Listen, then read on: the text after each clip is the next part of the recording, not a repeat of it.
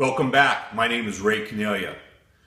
Well, the last several weeks have been pretty hectic around the Caniglia residence. Um, had out of town family guests staying with us. Um, whole bunch of stuff going on, man. Just been busy. Anyway, uh, happy to be back on YouTube. Um, I found out something very interesting. Um, I was looking at the analytics part of my YouTube channel and I realized that over 5% of my viewers are female. So now I can't say, hey guys, welcome back. So it's uh, welcome back, everyone. Anyway, pretty interesting. And I noticed that uh, John over at NYC CNC uh, noticed the same thing on his channel too.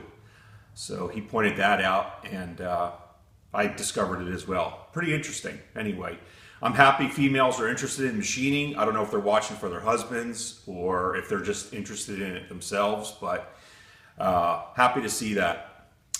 Uh, so I'm going to have to start catering to the female audience as well. Um, maybe uh, some other types of projects. Who knows? Anyway, um, I'd like to share with you uh, something else that happened.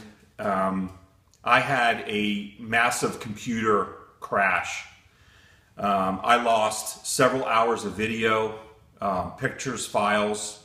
I got burned. Um, I should have had a um, external hard drive backup, which I didn't. Uh, I just trusted my computer. And I'm a little upset about it because I had a visitor. Uh, as you saw in Randy's video, Randy Richard came and spent the afternoon with Philip and I. And I lost all of that video. And Randy, I'm sorry, man. Um, I try to recover it. Uh, Phil tried. So whatever you have uh, is what we got on that visit.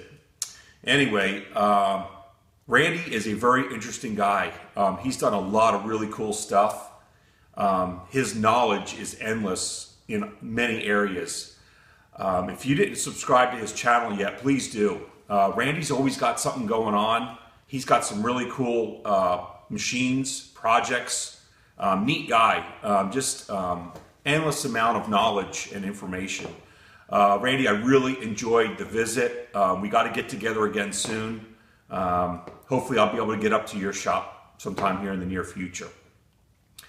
Anyway, uh, Randy also came bearing gifts, and I'll share that with you, um, and I appreciate that.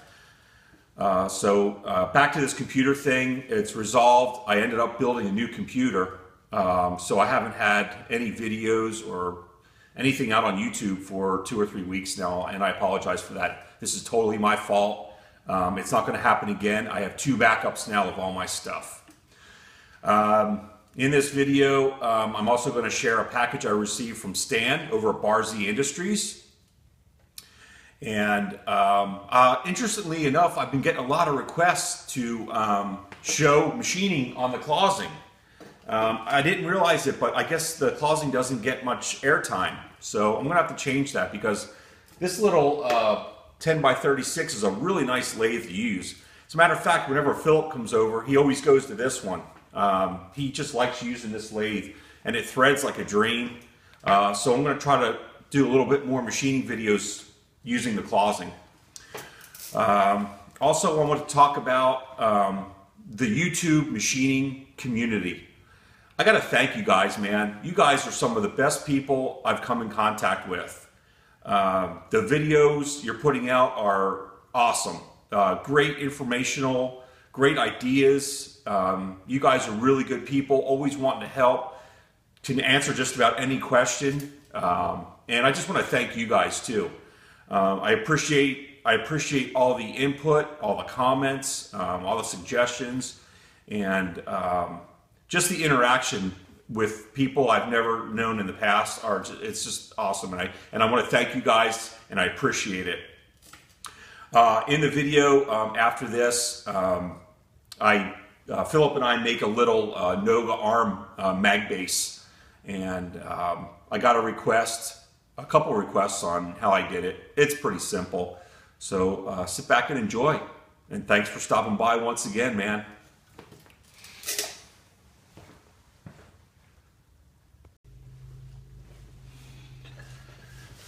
So when uh, Randy came to visit, uh, he brought a couple really neat uh, gifts for me. And uh, Randy, thank you. I appreciate that. That was very thoughtful. Um, as some of you may know, Randy makes these um, no spill oil cans for cutting oil. Um, and I'll tell you what, man, he does a nice job. Check this thing out.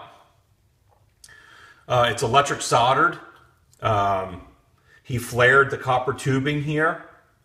Um, it's a pretty heavy duty can. I'm not sure what was in here in the beginning, but uh, it, it's pretty well done. Uh, I'm going to be putting some uh, good quality dark cutting oil in here um, and putting this bad boy to use. Very nice. Uh, Randy does a very nice job on these.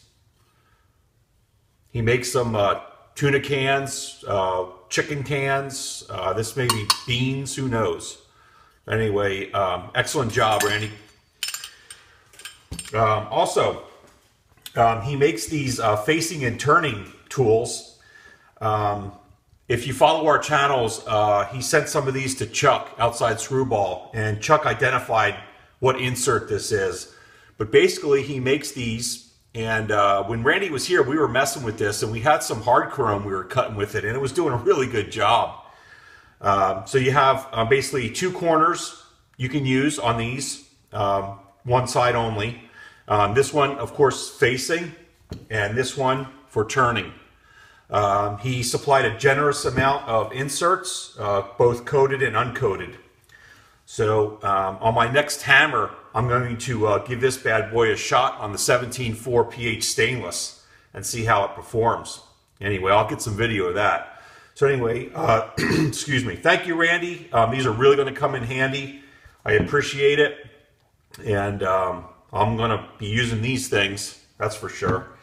So uh, let's move on to the package I received from Stan.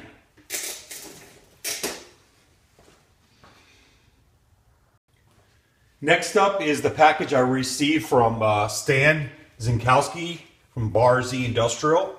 Um, let me point out, he's quite the comic. Ray and Phil's Hammer Depot. Thought you guys enjoy that. I got a kick out of it, Stan. Thanks, buddy. I got to show off Stan's packaging. I think he's trying to outdo us all. Um, may appear to be a standard priority mailbox, but wait till you see how he packaged this box of goodies. I had opened it before and I packaged it exactly the way I received it. So he's sure uh, repurposing and putting to use all the packaging material, which I believe some of this came from when he bought the Square Master from Tom Lipton, he repurposed some of this packing material, but check this out. Fits perfectly in the box. He filled up every void, every space. Stan, you did a great job, man. Look at this. Even has machining done to it, so it fits the top of that bottle perfect. Anyway, um, get everything out here.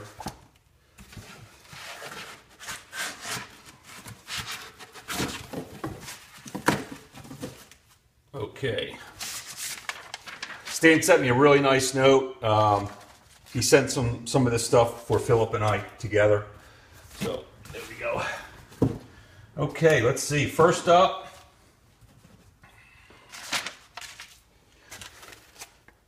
with some of this packaging material that I will possibly repurpose in the future as well. Uh, Stan had a whole bunch of these um, conversion charts made up, and they're really nice. He's got um, he's got all the fractions and decimals on this one side, and then of course he has his uh, whether you decide to buy a part or make one. And this spreadsheet, um, a lot of thought went into this, and it's pretty true. Anyway, uh, he sent me a bunch of these uh, full size and minis. Um, I will definitely use these. I use them all the time because I cannot remember these conversions. Um, he sent a set for myself and a set for Phil. Excellent job, Stan. These things are really neat. Um, on to the next item.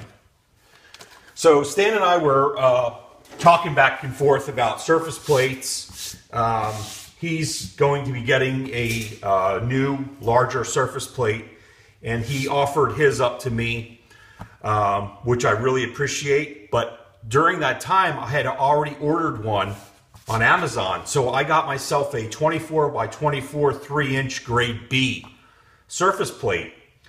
And uh, Stan and I were talking, and he said, Hey, I have a tenths gauge that I received from Tom Lipton some time ago. Um, I'd like to pass it on to you because he's upgraded. He's gotten some different uh, gauges for his squares. And he goes, Are you interested in it? I said, Sure. I said, Under one condition. I said, uh, If I can't get anything to zero with it, you got to visit me in the insane asylum.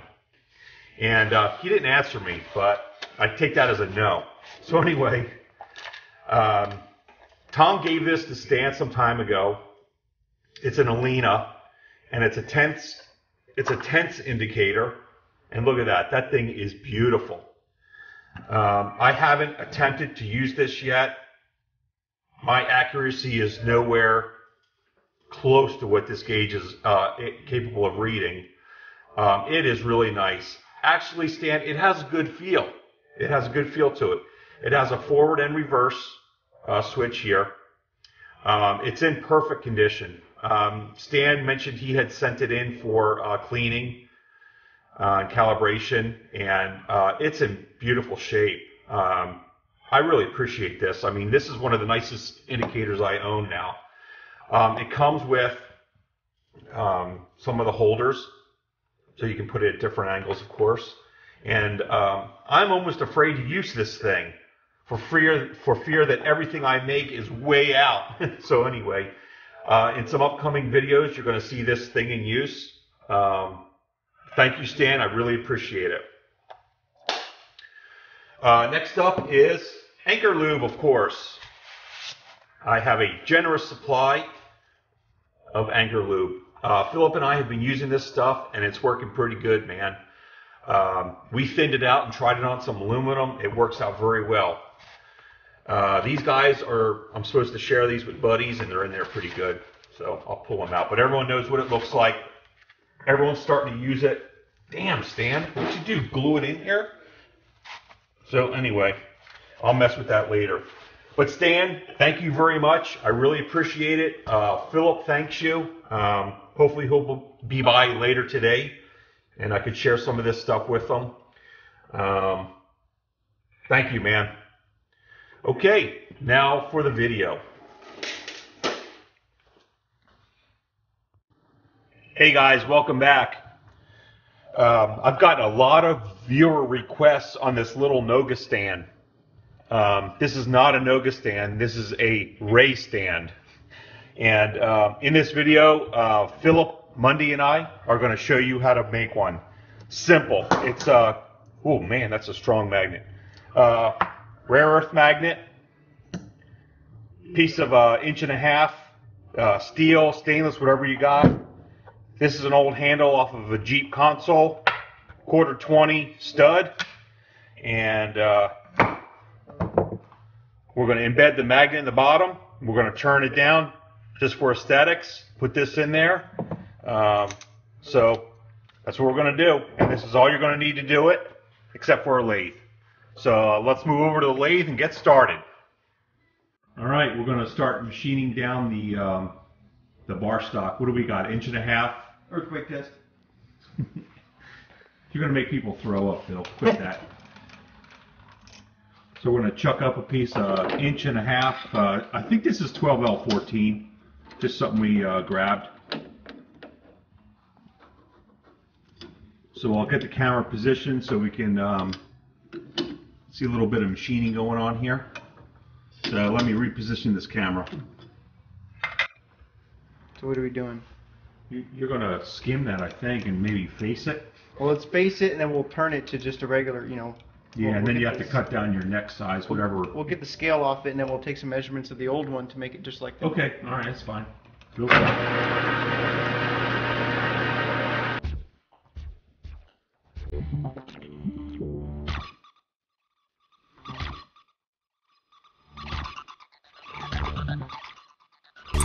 I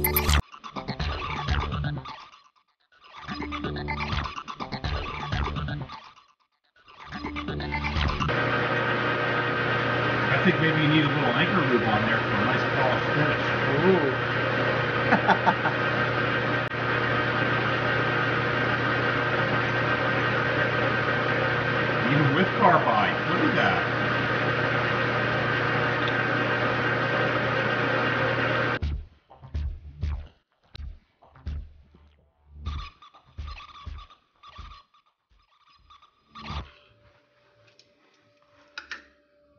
so take down your uh, neck to like one inch. So what about 500 thou? One four sixty three. Yeah, so take it down to an inch. One four six. Yeah, I'll take an inch. So down to an inch, an inch in. Yep, inch in and an inch down. So I forgot what it was. That means you got to make a square. One point four six three. We'll just start. We'll start hogging into it. Um, let's do this first. You have a sharpie? Yep. I'm just gonna rough it in an inch. Assistant with my sharpie. Blue. Thank you.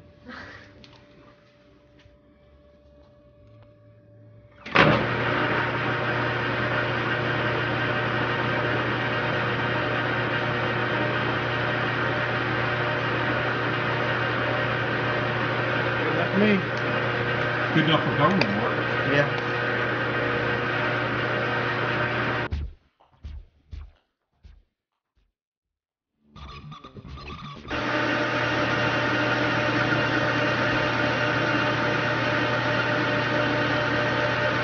Look at that Anchor Lube doesn't even smoke, Phil. Look at that. That's kind of weird, but it works pretty good. It works great.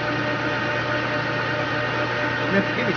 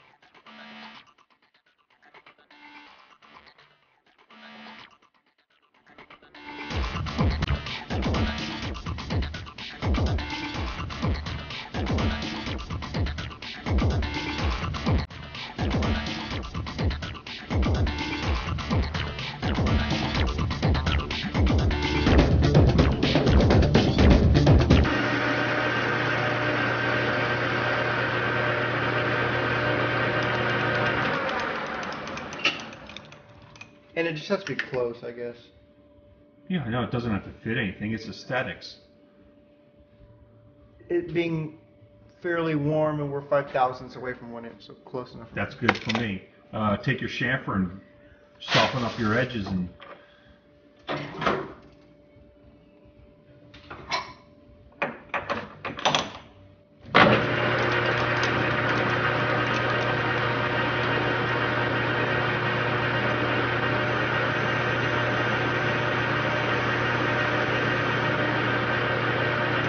on the first uh, Ray's stand, I put a, put a heavy chamfer on that shoulder, kind of blend in a few different diameters. You want to do that? It's up to you. It's up to you. This is your stand, so whatever you think's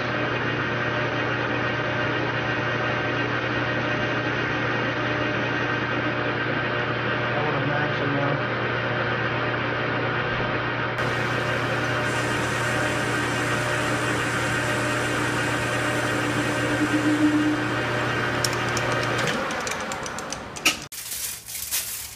Oh, you play? Oh, so no more earthquake tests. No more earth. Okay. No more earthquake. tests. All right. Okay. So we're gonna center drill it. Um, this is what the clearance hole for the stem of the Noga mount was. It five sixteenths. Five sixteenths. Yeah. Let's double check it. Oh, you want to go fancy? These are kind of nice. Where'd you get these? Philip Mundy. Ah. I And can't, the I can't depth, see. I can't see um, what's in the camera. So it's five sixteenths. We're gonna. Fill the depth. That's Yeah. got- that's a half inch, so we'll go all the way. We can actually go past. You can go past We can because do a we're gonna hole. we're gonna embed. Yeah, Okay.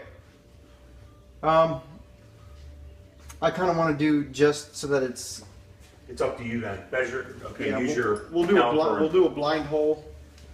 Um, I can't see. Is it in there? I mean, I Yeah, can- it's in there. Okay. You're- You're in. I can't see. Okay. So we'll do at least inch and a half. We'll do inch and a half. Okay, do an inch and a half. Inch and a half. That'll give me a little bit to stick out. We'll go over all these dimensions when we're done. So if you guys want to make one of these, uh, we'll give you a better baseline and then all this guessing. Ouch. What was that? You locked the quill, not the tailstock. Oh well, I don't know. It's There you go. it's not the uh, the mighty web. Yeah, I know. It's, like the mighty, it's the mighty grizzly.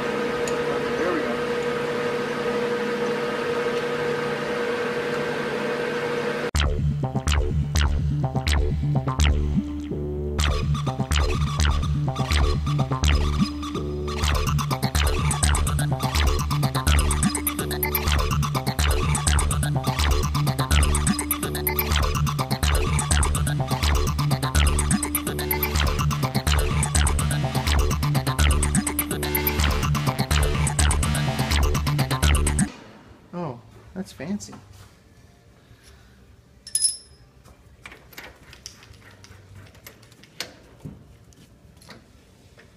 Okay, let's get this thing low.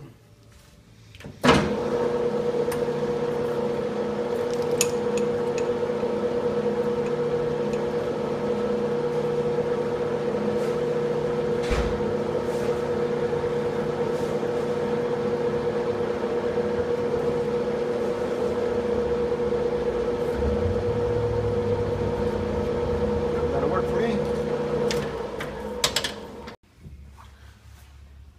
All right, we're going to finish drill with a letter O drill bit. Back down to inch and a half.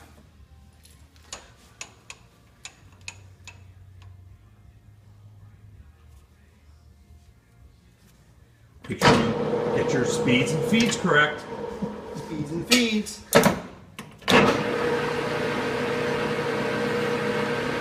A little anchor juice.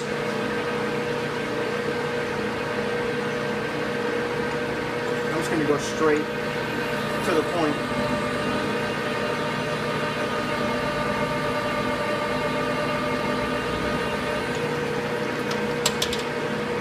There it is.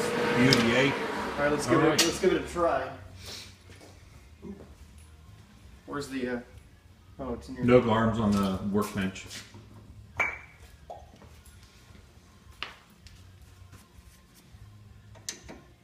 Oh, look at that. Wait for it. That wasn't even a reamer. How about that? It's not bad. All right. Well, uh, I think it's time to uh, whack it off. Let's. I'm gonna. Um. I'm gonna make it purdy. All right. Make it pretty.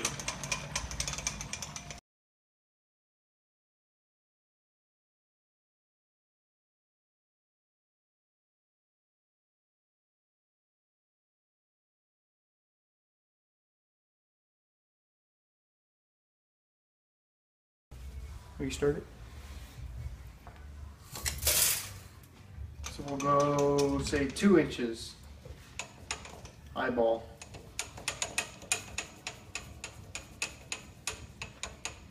Alright, close enough for me. Oh, son of a bitch. I moved the wrong handle. Alright, let's do that again. Okay.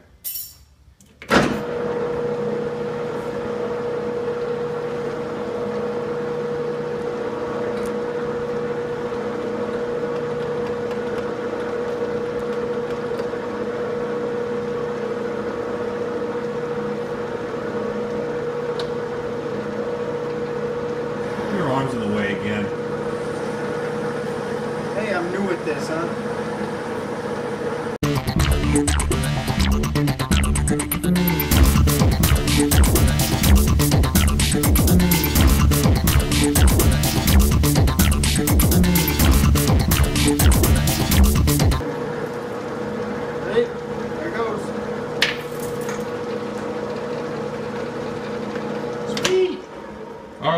Set up, uh, get it in there to uh, counterbore for the magnet. Show us the part, Phil. I can't see it. There you go. Where is it? Right there? No, that's not focusing on it. All right, we'll get set up and bring it back. Well,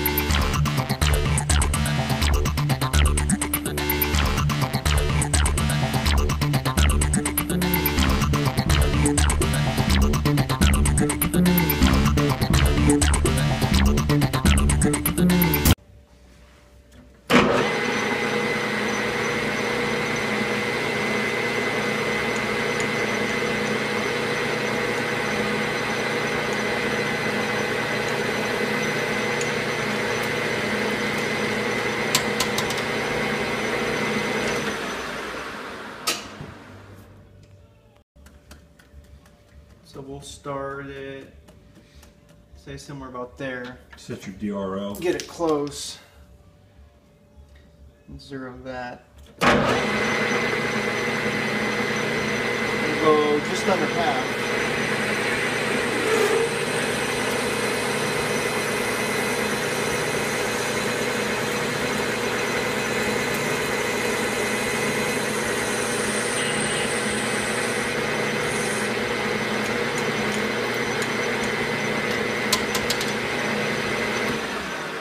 Then we'll come in with an end mill and finish it off.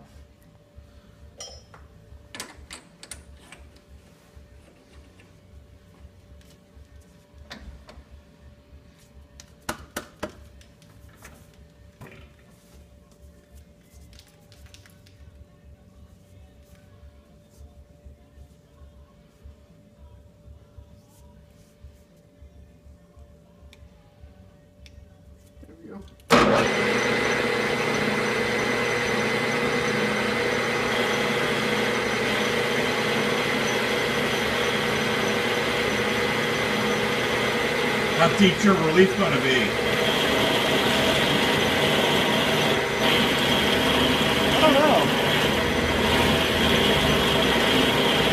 Uh, like 25 thou.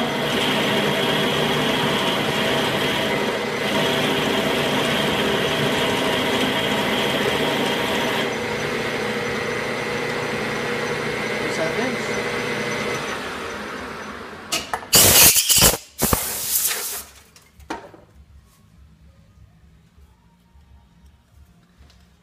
Yeah, looks pretty good. And then we'll do, uh, It's up to you. However deep you want to go. Just I'd relieve it a little bit. alright, I'll do it by hand, by eye, about 25 thousandths or so. All right. And I Let's want to up for that. use, let's just use, so we get a good uh, shoulder. That's fine. Use the 45. Yeah. That's, I'm just going to come into the center. This may not work though because there's not enough relief on the bottom. Same one I used for mine. Oh yeah, there's just enough relief. Okay, so let's freehand it in. We need final dimensions later.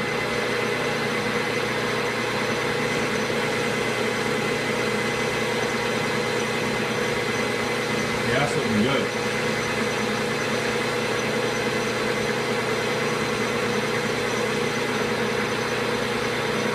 A little more.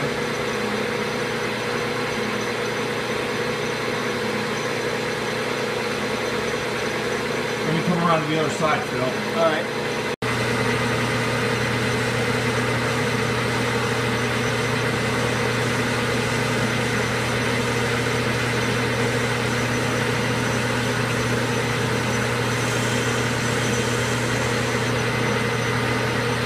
Good enough. Maybe we'll go a little deeper.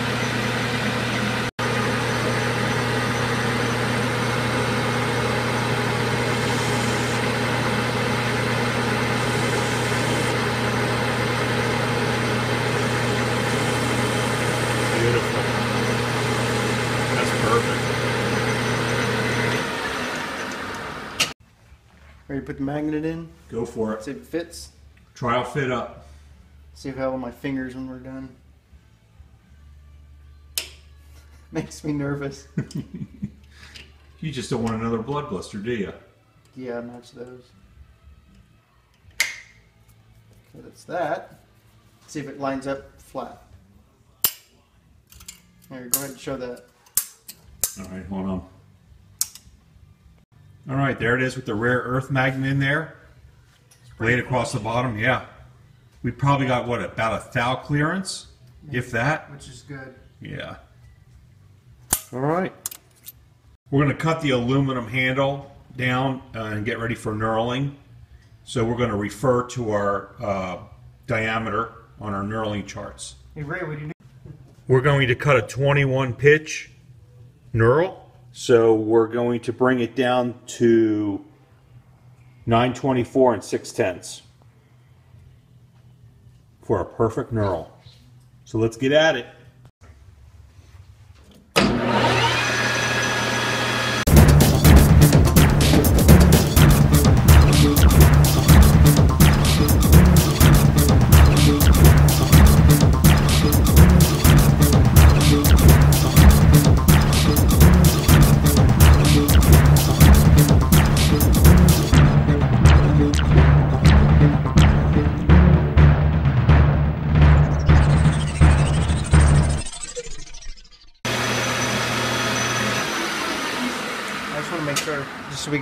Perfect. So Yeah, that's looking good. That one's going to look a lot better than my thumbnail. You're 925, 23, 24. 924. Close enough. Should be good enough. I mean, you were at the couple Yeah, thou. 924, 6, so yeah. A couple thousand, so we're good.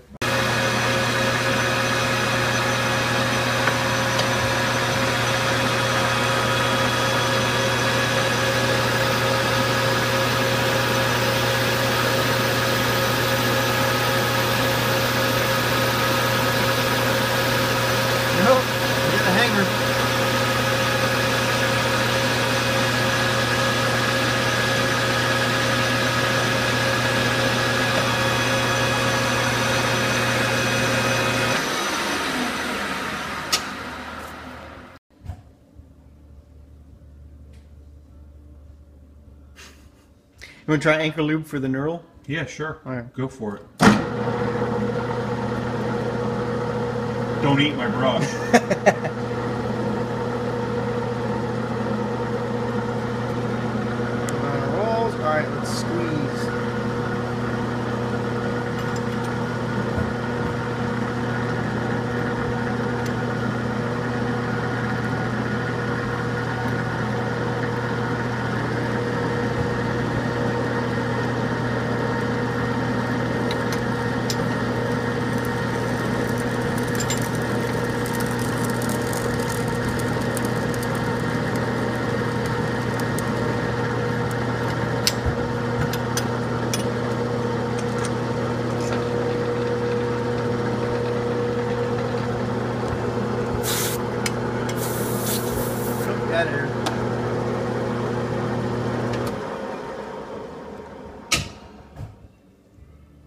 pretty damn good. Yeah. I'll take it.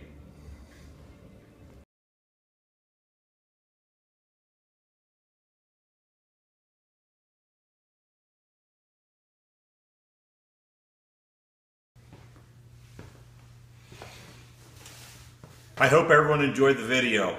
I'd like to thank everyone for all their comments, likes, subscriptions, and thumbs up. See you next time.